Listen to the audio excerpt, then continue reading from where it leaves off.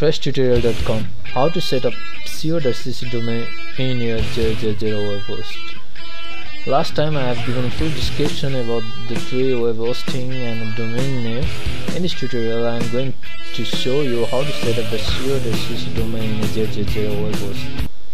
First log in into co.cc if you are not the member of co.cc please register yourselves. Then check out the domain that you want to register for example my domain I want to register is my restriction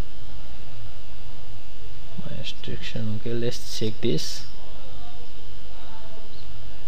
You can see it's available for free so continue page to the registration. If you don't see that your domain name um, is not um, uh, available then um, uh, you have to choose another domain name okay click on continue to registration now you'll see a setup uh, button here. You have to click on this.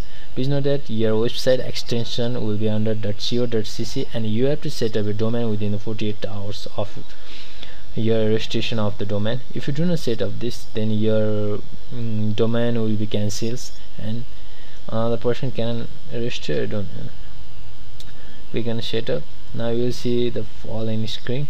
Now click on setup again. Please note that your domain will expire on this date. And don't be panic you can just renew your domain for free and you will see a lots of option there okay? I will tell you about this later. Now logging into here 000 webhost now click on create new. Now you will see uh, this form. Okay now um, put your website that you have just registered. My restriction.co.cc now choose your password and click on set up new account okay? Do not put anything there. Just click on set up new account. Okay now you'll see this now go to the control panel click and go to control panel.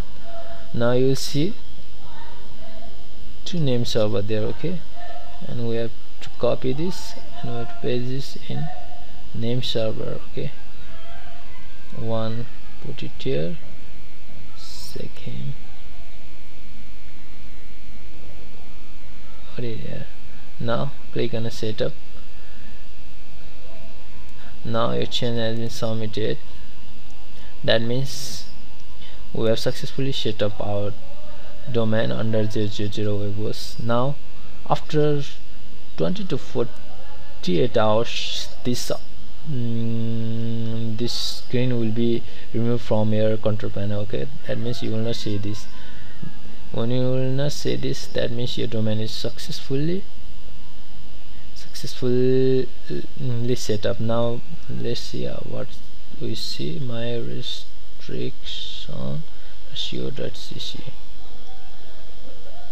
yeah now what function will see okay? Now look at this. Our share is successfully registered. Now it takes about 48 uh, hours um, to successfully update your name server. So just be patient. And after your name server uh, fully updated then you can log in into your control panel and use its various uses. I will show you how to use your control panel in the next tutorial. So keep watching fresh tutorial